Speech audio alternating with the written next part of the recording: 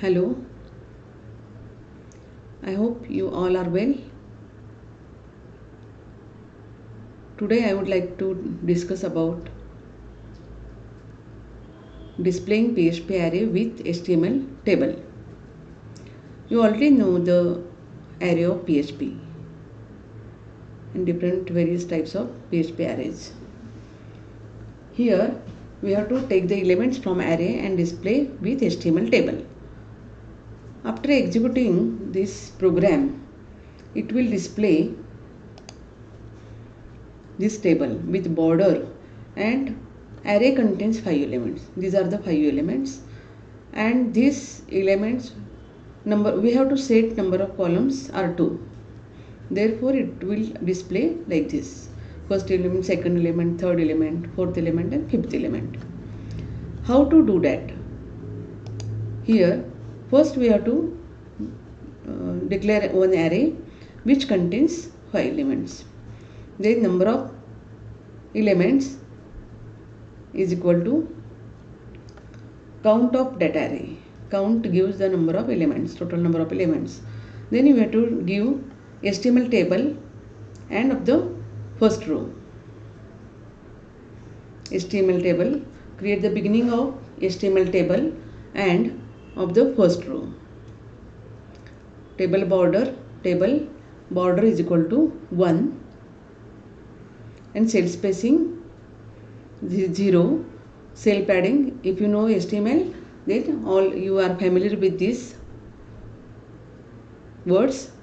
Border is equal to 1 cell spacing is equal to 0 cell padding is equal to 2 and number of columns we have to assign that number of columns are 2 if number of elements greater than 0 we have to check the arrays array has elements. If array has elements then we have to declare one loop dollar i is equal to 0 dollar i less than number of elements then dollar i plus plus. Here we have to traverse the array with for loop and HTML table adds the value in column in table.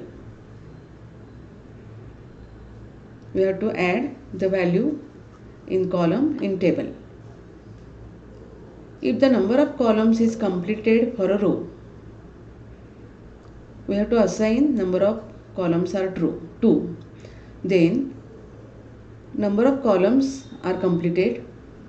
Then close the current row and begins another row. Here we have to check that dollar i plus 1 percent number of columns. Then number of columns are 0 then it will add one row another row. Then add empty column if the current row is not completed. I hope you understand this. Suppose number of columns are 2.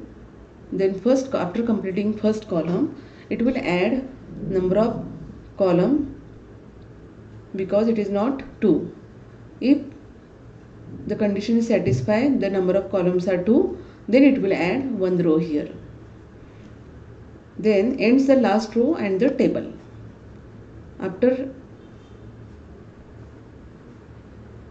continuing for loop, it will display all the elements uh, add into all the elements into HTML table. Then we have to end that row and table. Table row and table. Ends the last row and the table and then delete possible empty rows which can be created after last column. Here delete possible empty rows. Then display the HTML table. After executing this, it will display these elements.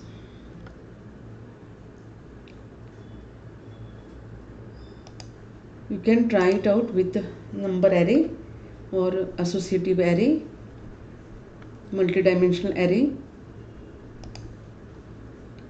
How to execute that program? First you have to start with XAMPP control then start with Apache and then run this code with localhost and filename.php keep this file with htdocs if XAMPP control is there and then execute this program. Again it will execute and display. Thank you